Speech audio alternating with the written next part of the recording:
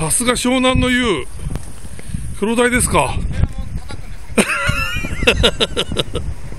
ベラも叩く？え、まさかそのサイズはごぼう抜きできないでしょ。でも、あやさんいつも釣ってる。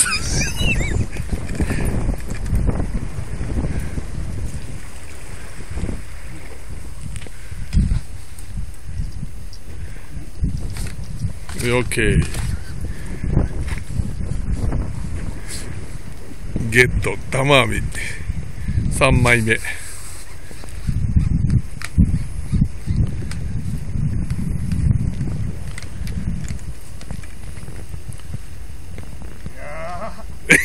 いいですね。20いくつ？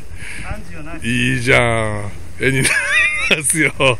あとあの二人が釣ってくれればな。いやさっき釣った方がもっと大きいあ、そう。30あったからねあと君らだけだよ。僕僕 やだ。笑いが止まんねえ僕たち二人何やってんの僕たち。仲がいいんだから釣りなさいよ、遠慮しないで。